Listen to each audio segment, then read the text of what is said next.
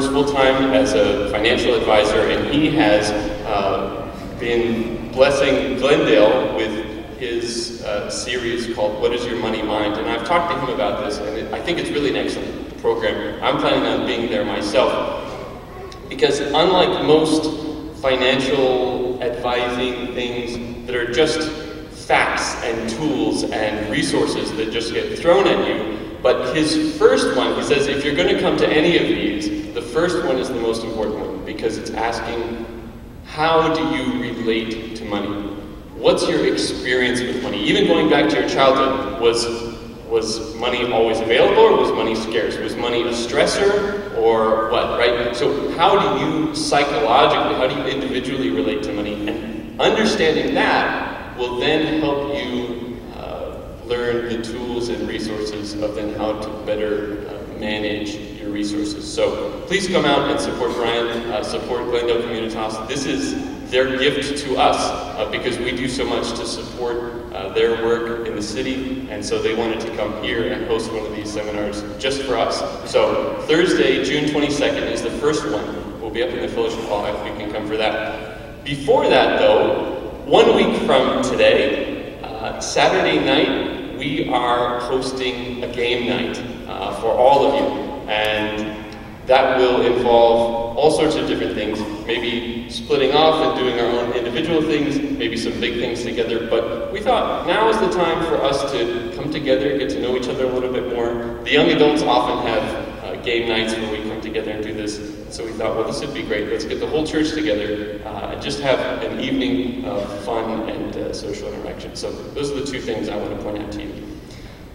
Other than that, let's please stand uh, and invite God to join us as we worship.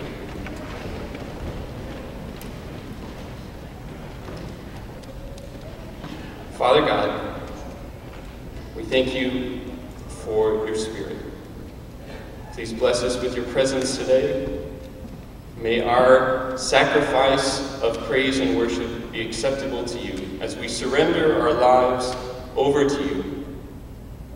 May in all things you be glorified, we pray through Christ our Lord. Amen. I invite you to please remain standing for our opening hymn, hymn 28, Praise We the Lord.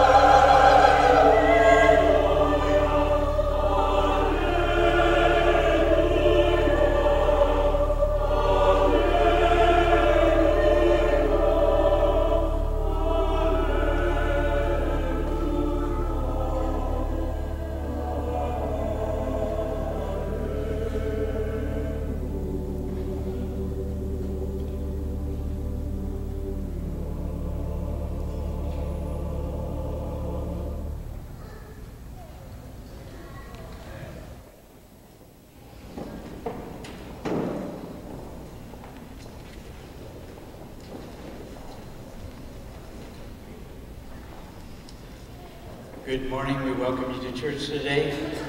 We have a number of different items in our church life that we'll quickly go through. Uh, first of all, a couple of items that didn't make the bulletin. Those of you in the Finance Committee will be meeting at 7 p.m. on Tuesday evening. We're sad to announce that one of the original members of the Vallejo Drive Church passed away this week, Harriet Hooper. Went to her rest on Monday. Her husband Wayne was our first minister of music here. And uh, well over 50 years ago, she came across the street when we moved from the sanitarium. There will be uh, only a private ceremony. We, extend our condolences to the family. We have uh, six individuals that we'd like to welcome into mem membership today. Uh, you can see the uh, on the Sabbath School page. There are the names are listed: Lourdes Delgado, Seth Contreras, Caitlin Contreras, Andrew Chang, Dentinia Lambert Cuvanian, and Leonidas Dolores. Uh, could we have a motion to accept these into membership? So, well, there's a lot of them, so I'll make that a second. All those in favor give a hearty amen. amen. Now, I think most of these folks are over in uh, uh, the other contemporary service not with us this morning, uh, but uh, are you with us this morning in the sanctuary? Right over here. Let's welcome her.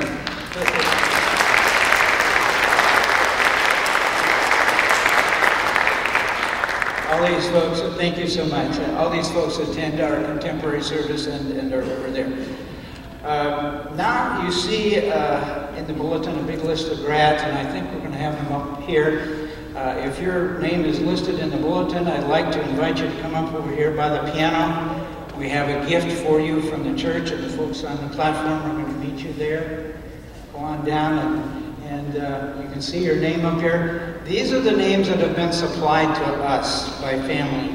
And if any of you happen to be a grad that, that go ahead, that uh, didn't, uh, didn't uh, get listed, you're welcome to come, and as long as we have a few lace left, we'll be happy to share those with you. But congratulations to all these uh, uh, scholars who've uh, come to an important point in their life where they're moving on to the next level. Let's, let's give them all a name.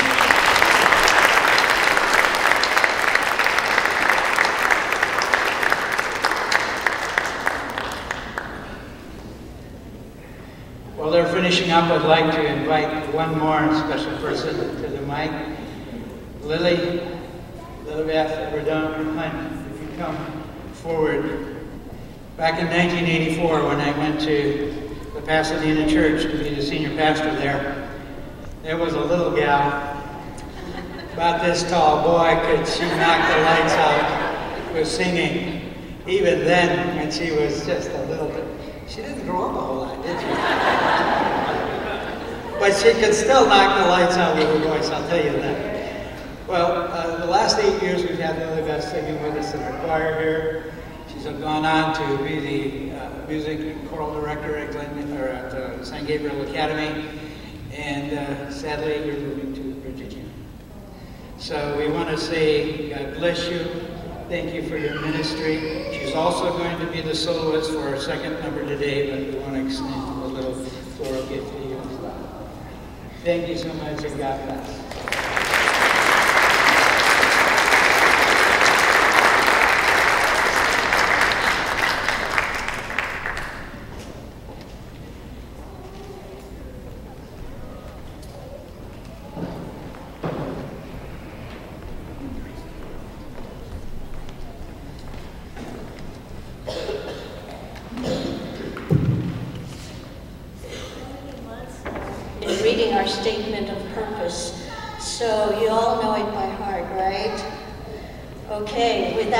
looking at your bulletin, what is the purpose of our church?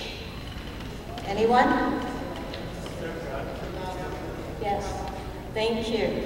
To love and serve one another, to love and serve the world.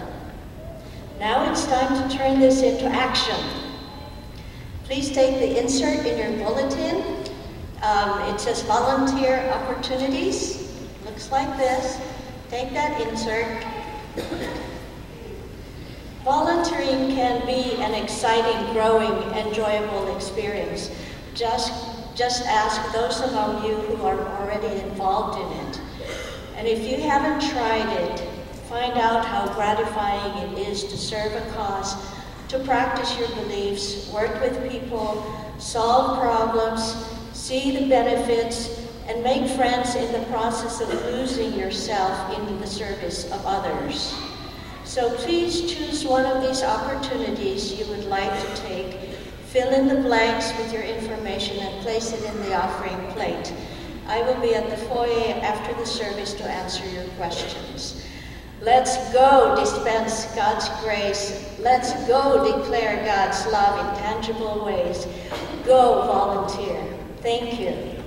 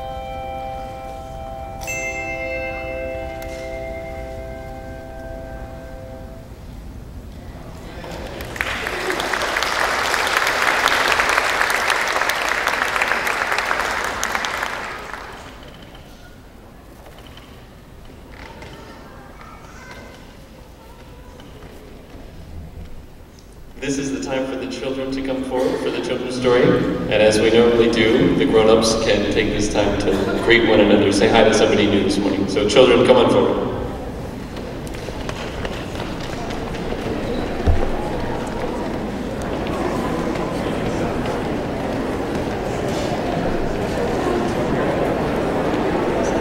Let's all stay on the left side over there where the camera.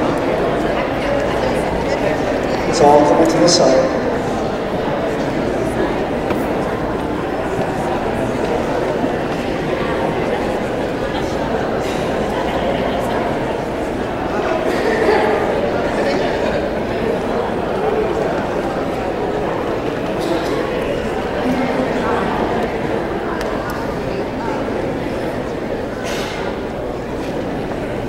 Can you all slide down this way so that you see what I have for you? Slide, slide down, slide down. Someone over here? Let's slide down a little more. Why don't you come on down here? There's another step right here.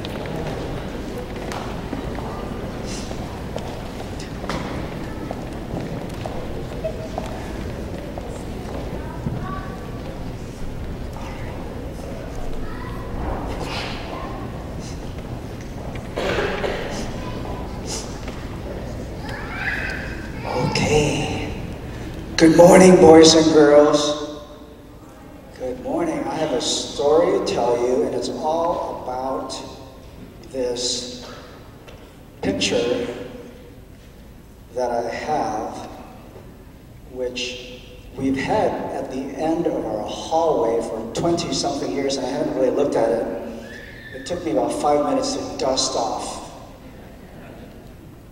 Can you tell me, do these people look happy? No. Do they look happy? No, they don't look happy. Why don't you think they look happy? Anybody? Because it was in the old days. Because it was in the old days? Well, anyone else? Do you think you know why they're not happy?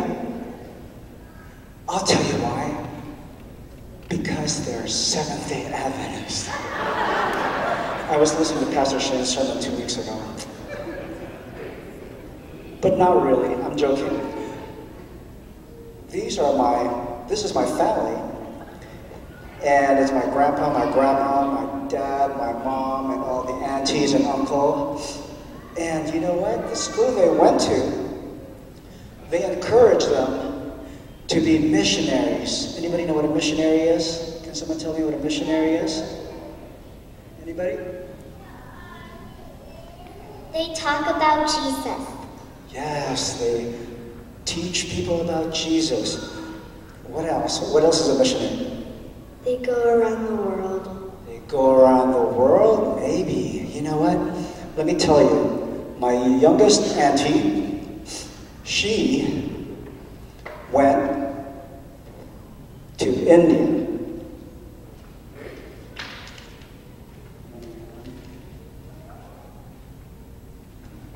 I have a picture of India. Do you know anybody you know what that building is? And here's another picture on the back of something that they wear. And what do you see on that woman's head? A red spot. A red spot. Do you know what that red spot means? What does that red spot mean? It means that it's from India. Means she's from India, and you know what? She got married. And you know why they do that when they get married? Because after she got married, she said, What did I do? No, not really.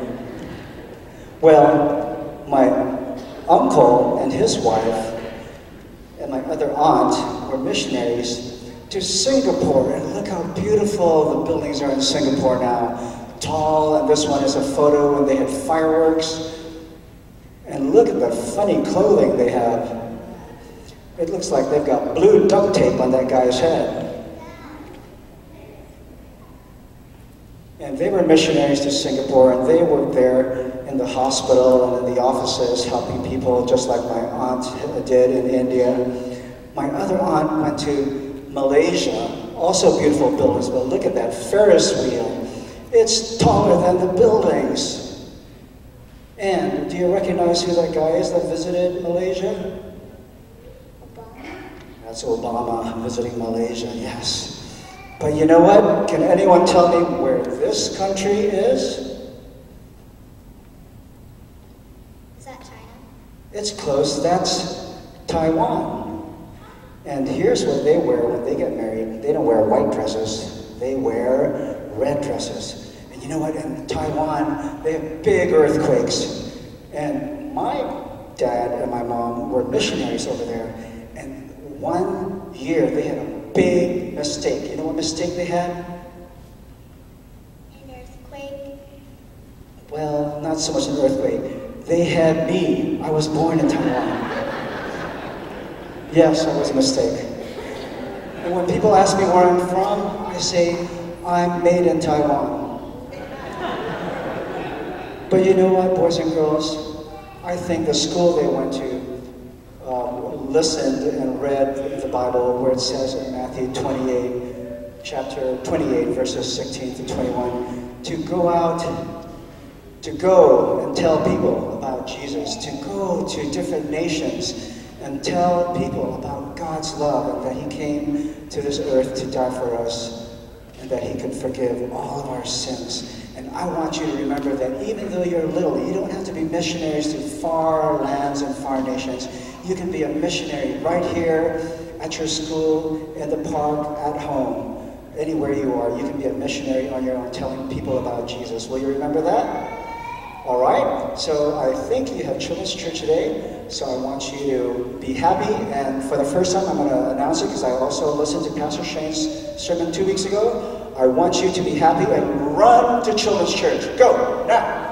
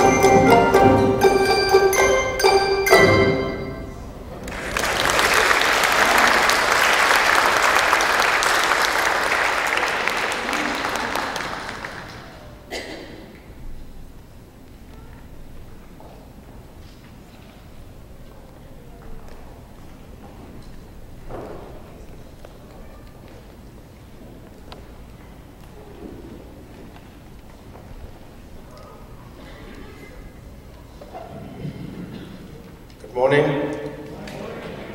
Our offering today is uh, the multilingual and chaplaincy ministry as well as the world budget. I know that um, when I hear multilingual, um, you're probably wondering if I speak any other languages. I do. I was raised in Colombia, and I know that I can speak Spanish, but also, also I learned how to speak Italian and other languages while I was there uh, doing my studies. So uh, I understand what the multilingual uh, in the chaplaincy ministry mean because I know how our church, the Seventh Day Adventist, is spreading around the world.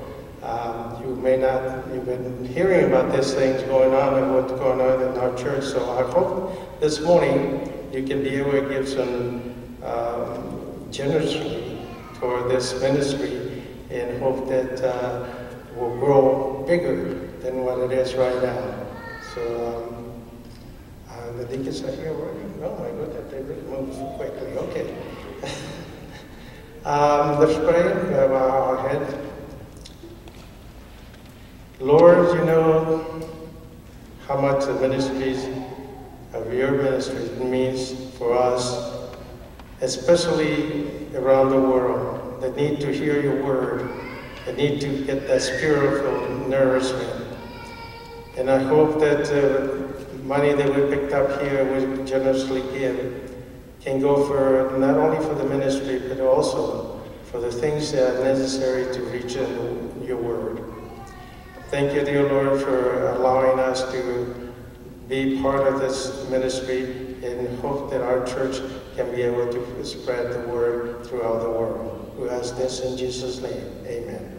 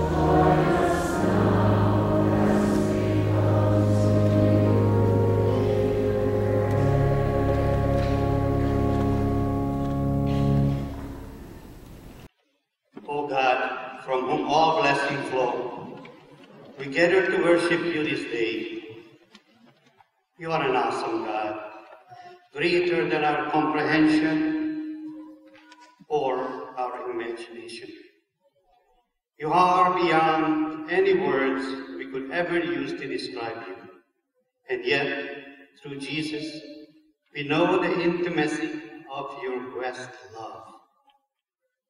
We have come to you in thanksgiving and praise to know that you are God and to place our lives anew into your perspective. Enlarge our vision this hour with your word through Pastor Shane. Instill in us your hope in place of our despair, your peace where our hatred threatens, your joy amidst our depression, and your love overwhelming our apathy. We pray for those who cannot be with us in worship today. Bless them, touch those who are sick physically and spiritually, and heal them. May your Holy Spirit surround them and dwell with this congregation now and forevermore. In Jesus' name we pray.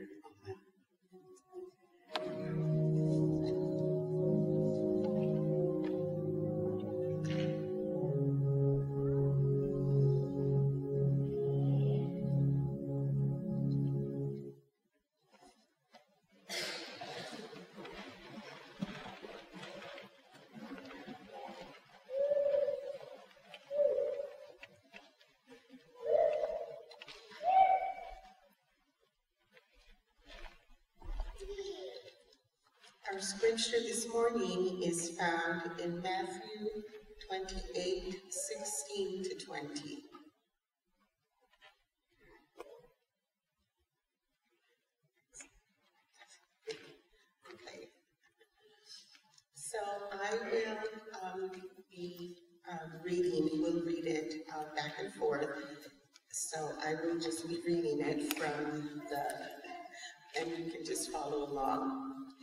Now, the eleven disciples went to Galilee, to the mountain to which Jesus had directed them.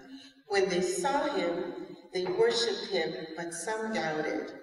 And Jesus came and said to them, All authority in heaven and on earth has been given to me. Go therefore and make disciples of all nations, baptizing them in the name of the Father, of the Son, and of the Holy Spirit and teaching them to obey everything that I have commanded you. And remember, I am with you always to the end of the age.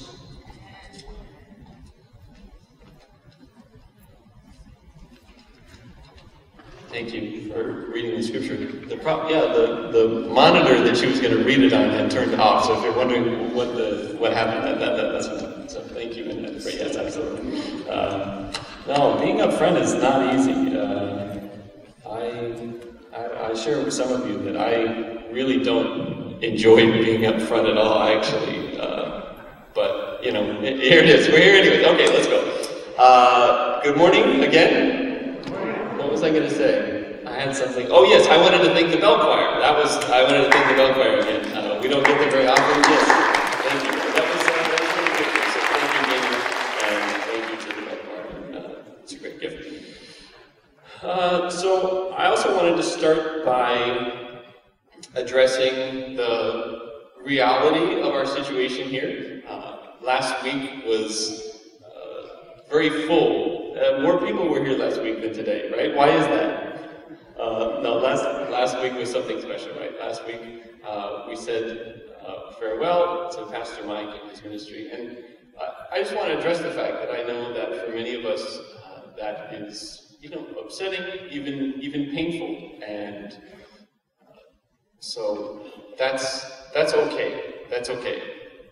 Um, and I know that some of you uh, are probably planning on going and supporting him uh, wherever he goes next, and and I'm sure he will appreciate that. But I did want to take the time this morning to address this and make it very clear to, to each of us and probably the people that I'm most talking to are the people that even aren't here this morning. But for those of you who are here, I want to make it very clear that while we may be in a time of transition, that does not mean we're in a time of complacency. So, as many of you already know, uh, this went out in the newsletter yesterday as well. Uh, the conference and the church board has asked uh, Pastor Mark uh, to be our interim lead pastor, and so we're grateful. We're very grateful to him for his ministry and his leadership during this time. Yes, thank you.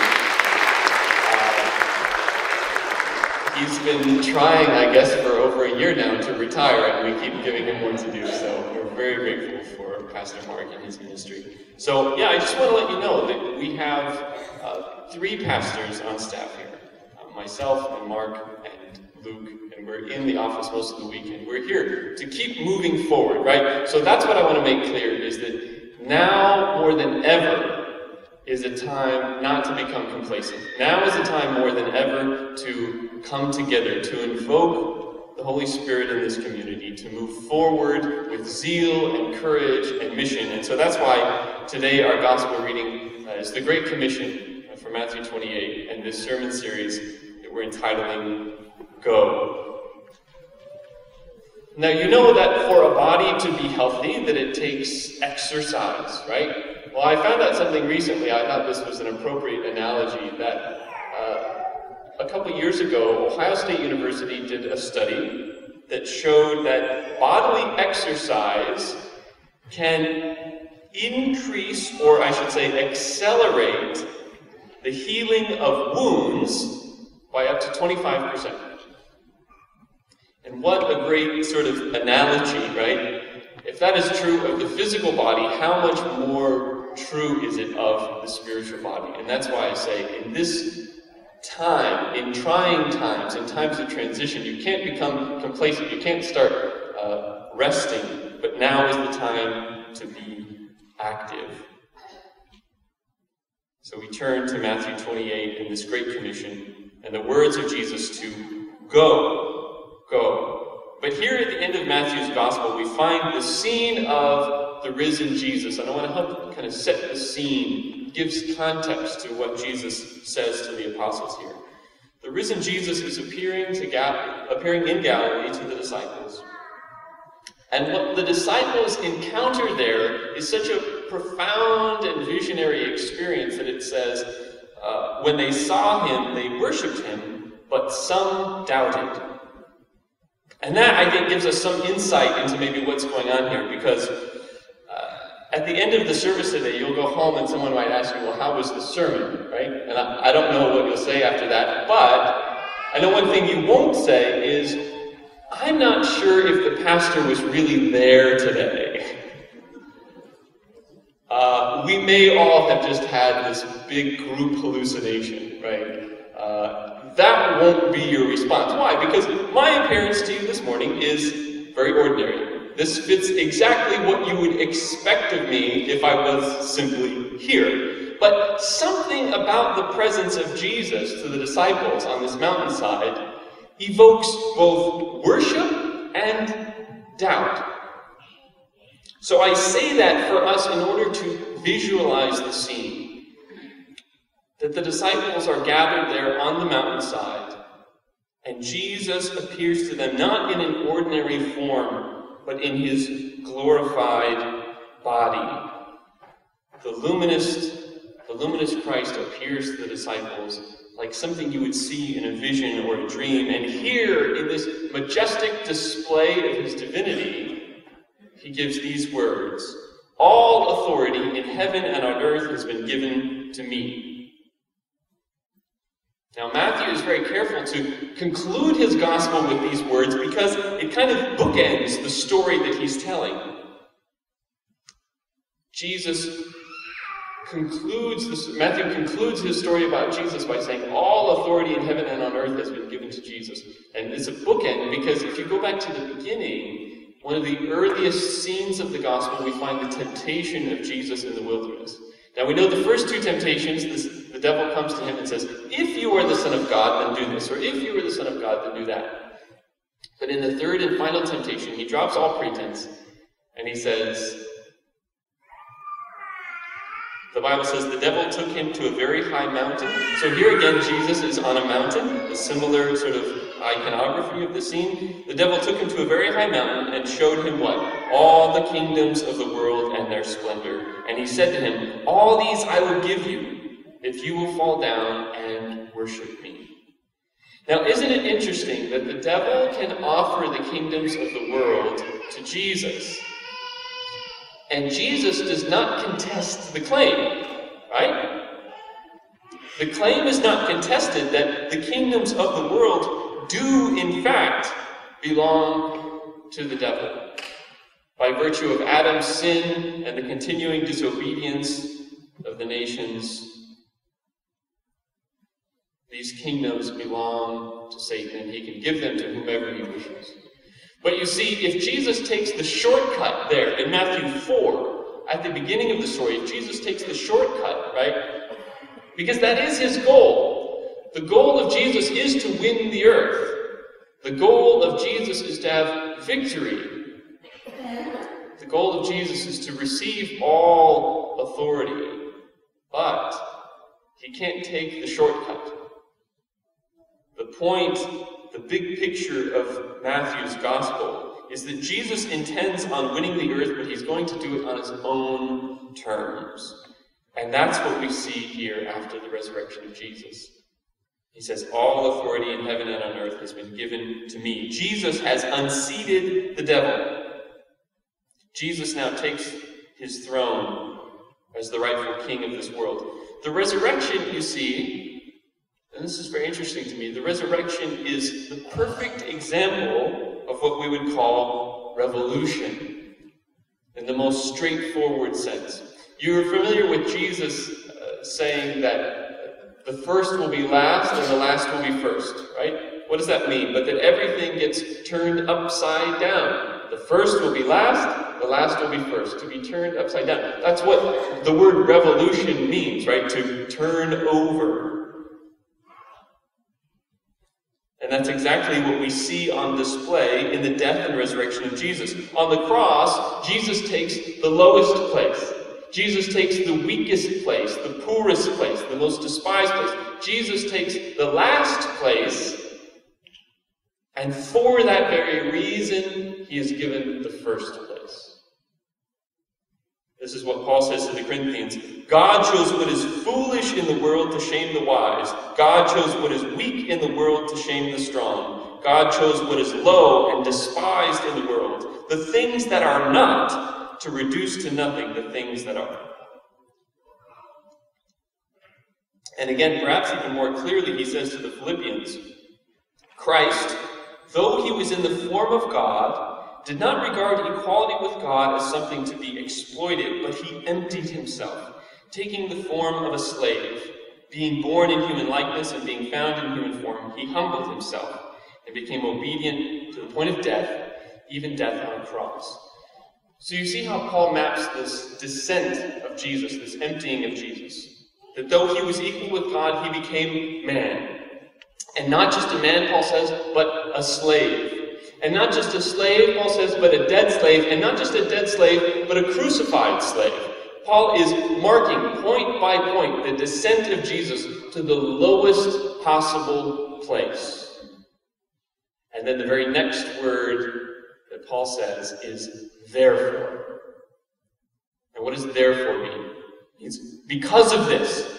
Therefore, because he has descended to the lowest place, Paul says, Therefore, God also highly exalted him and gave him the name that is above every name, so that at the name of Jesus every knee should bend in heaven and on earth and under the earth, and every tongue should confess that Jesus Christ is Lord to the glory of God the Father. You see the structure of what's going on here? The resurrection of Jesus is the victory of the weak over the strong, the victory of the poor over the rich, the victory of the foolish over the wise. And the early apostles embraced this revolutionary spirit of the resurrection by referring to Christ's resurrection in Greek as anastasis. Anastasis. It means literally to get up again. But the term is also a political term that was used in the day to refer to a rebellion or a revolution. So it is literally, this is kind of the play on words that's being used here. It is literally, the resurrection is a rising up, but it is also what we might say an uprising. And that pun, that double meaning was not lost on the early Christians who were put to death for refusing to pledge allegiance to any nation or kingdom of this world and pledge their allegiance solely to Jesus Christ. Now, why is all of this important? Because of what Jesus says next. All authority in heaven and on earth has been given to me. Therefore, because of this, go. So it is because of the resurrection of Jesus, it is because of the victory of Jesus over Satan that righteousness has defeated sin, life has defeated death, humanity has been reconciled to God. Sin and death no longer have a rightful claim over a single soul. The work has been completed. Now it is simply a matter of letting people know what has happened, the good news. I think the perfect analogy for this is January 1st, 1863. Abraham Lincoln signs the Emancipation Proclamation. And in that very moment, Legally speaking, the slaves are freed. But does that mean that at that very moment, all of the slaves are actually freed? No. Why not? Because it takes time for the message, for the good news, for the word to disseminate to the people. And so, of course, it's in the interest of some to keep others ignorant of their freedom and that's the situation that we live in. In the same way, the devil is already defeated, but he can keep us under his power so long as we refuse to believe the good news of Christ's victory that has won our freedom. So finally, then, the apostles are instructed to go and do one thing. One thing they're told to go and do with two components. Okay? One thing with two components. What is it? What's the one thing Jesus tells them to go do? Make disciples of all nations. And what's that mean to create disciples? But to create imitators, emulators, spiritual apprentices, to create little Christs, Christians, to send out into the world, to create reflections of the one Master and Lord Jesus Christ. That's what a disciple is. A disciple is a reflection and an apprentice of the Master. So, how do you do this one thing? How do you go and make disciples? Well, that's where Jesus gives two components. Number one, to baptize them in the name of the Father and of the Son and of the Holy Spirit. And two, to teach them to obey everything that I've commanded you. Now, I could preach a whole message on either one of these two things, but let me summarize this very briefly. Uh, baptizing and teaching them to obey. Why? Why these two things and why this order? Well, again, what's the goal? What's the one thing we've been told to do? To make disciples, right? So, how do these two things accomplish that goal? The goal is to make disciples, to make people Christ like. And baptism has to be the first step in that process because we need the grace of God and the grace and the power of the Holy Spirit to empower us to obey.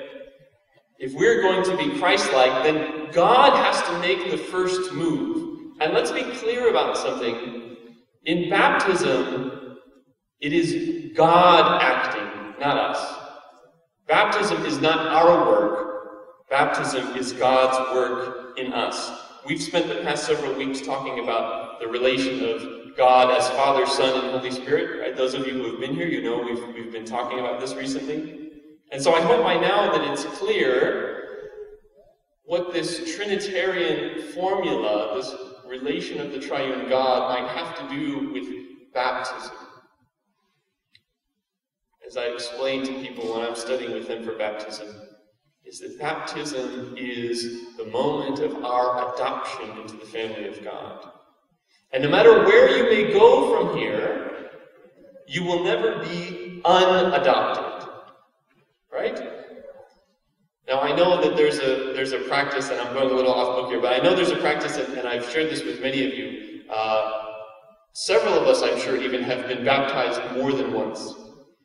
But whenever I study with someone for baptism, I always make it a point to make this very clear that baptism is not about how it makes you feel. Baptism is not about you doing something to, to commend yourself to God. But God is doing something in you. God is claiming you at your baptism. And just like the prodigal son, you may go and wander off.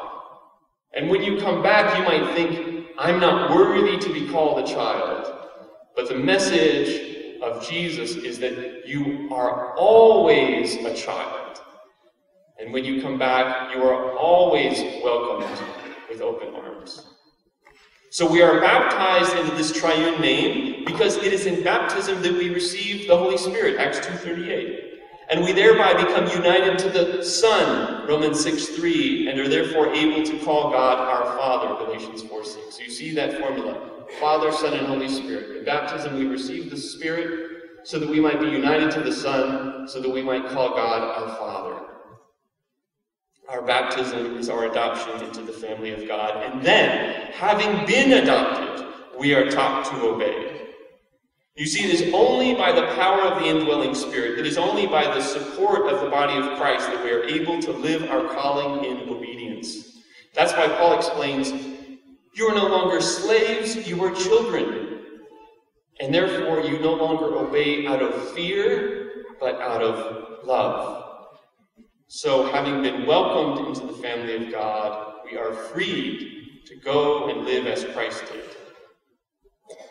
When Jesus says, Go and teach them everything I have commanded you, what is he referring to but his commands to love and serve the world? So, having been baptized, having been adopted into the life of God, we are then sent out to be Christ to our neighbor. And that's why Matthew's gospel concludes with the words of Jesus Remember, Jesus says, I am with you always, even to the end of the age. How is it that Jesus is with us, but that Jesus is in us? Jesus is among us as us. Does that make sense? We are commissioned to be Christ to the world, and in this way, he says, I am with you always in this mission. As Paul says, I no longer live, but Christ lives in me. So that's my challenge to you today. That's my challenge to you next week. This theme of mission will not be going away anytime soon. And it begins with your response. It begins with your response to this call to go, to go and be disciples. Now, Vinny already uh, pointed this out, but if you haven't already done this, you have another opportunity. So, this is your bulletin insert, these volunteer opportunities. Now, a few times I have uh, called your attention to something and asked you to write something down. You guys know what I'm talking about. But see, now it's even easier for you because you don't have to tear it off of the bulletin. It's already torn out for you. So you have a form in your hand, uh, and you can write down your name and your phone number, a way for us to get a hold of you. And if some of these stand out to you as something that you'd like to do, please check that box. And I will be collecting them in the back. So you don't get to shake my hand unless you're handing me one of these. Okay, how about that? Uh, no, but this is your this is your opportunity to respond. So that, I, I think we have to be aggressive with this kind of stuff. I'm sorry to go into sales pitch mode, but it, this is what it takes, right? Because it's very easy to say, oh yeah, okay, yeah, that's a good idea. That's a good idea. But you have to do this. You have to respond to this. This is what it's going to take for this church to move forward. This is what it's going to take for this church to, to get over the hump. Now, you might look at these and say, oh, I don't know if I can do any of these. Well, that's why you can check the box that says other. So there's no excuse not to fill this out, because there's an other box. if you check the other box, then I'll follow up with you personally, and we'll find something for you to do. Okay, how about that? I hope that sounds okay. So please fill this out. Uh, Vinny will also be in the back uh, to answer any questions you may have. Don't think that ignoring it today will then take it off of your uh, radar. I'm going to be doing the same thing next week. But you know what the Bible says? Today is the day of salvation. Don't harden your hearts. Jesus says, All authority in heaven and on earth has been given to me. And that means that the call to love and serve is not a recommendation. Amen? Oh, whoa, that was dead. See, okay, maybe I've made people uncomfortable. But the call to love and serve is not a recommendation. Amen? Oh, that was still pretty weak, but okay. It's your life's purpose. This is what Pastor Mike to always talk about. This is the meaning of life. It's your life's purpose, your highest calling. Not everyone is called to be a preacher and a teacher. Not everyone is called to stand behind the pulpit. But we are all called to proclaim the good news of the resurrection through our love and service. I invite you to pray with me. Father God, bless us with your Spirit. Unite us to your Son. Make us witnesses to your gospel through our lives. God, if our hearts may be hard this morning, pray that you would soften them. If we are lacking courage, I pray that you would empower us. Strengthen this congregation. Heal our wounds. Move us forward in your service, we pray through Christ our Lord. Amen. Well, I invite you to stand with me as we sing our closing hymn, uh, Rescue the Perishing, a nice sort of missional hymn to go out with. Rescue the Perishing, hymn number 367. Please stand with me